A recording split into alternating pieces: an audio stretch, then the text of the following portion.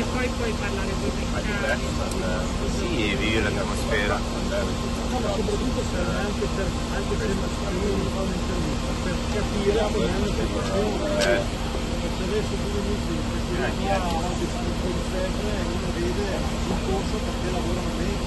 Certo, certo.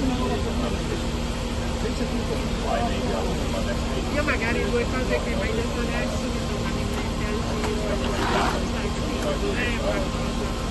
Sì. E magari tipo se a casa mi piace di più, no? Mi piace leggere, sapere le notizie.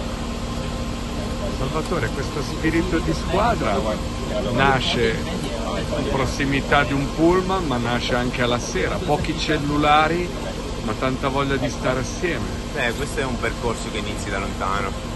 Cioè devi creare il gruppo giusto, devono essere le persone giuste, i compagni simpatici, cioè devi avere tutto un insieme di cose.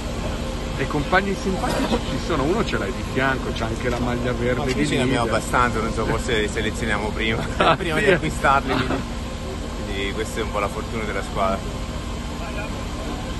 Ma siete eh, ragazzi che parlate di tutto? Cioè, o c'è un argomento in particolare, la musica che vi accomuna, magari... Ma diciamo Questo. un po' di tutto, magari un po' più di ciclismo così sempre la sera. Ah, sì, eh? Si ricommenta un po' la gara, Si ricommenta la le corsa. altre notizie, sì.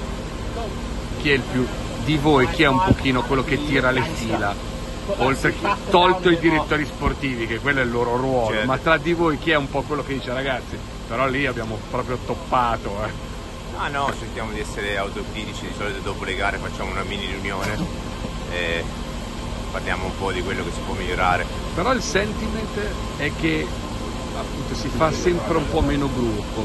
Tra le nuove generazioni ci sono molti social, i social Ma potrebbero essere un problema per creare appunto questo affiatamento, questa cui Ma penso che sulle nuove generazioni c'è meno dedizione al lavoro, quindi tanti vogliono fare i leader e quindi dopo la tappa viene fuori un po' di competizione tra un compagno e un altro e qui e quindi automaticamente crei cioè, dentro il gruppo no, delle tensioni. Quando poi una, una squadra parte con degli obiettivi chiari è già diverso. Sai chi è il leader, sai chi lavora e quindi l'armonia dentro è diversa. Grazie. Grazie.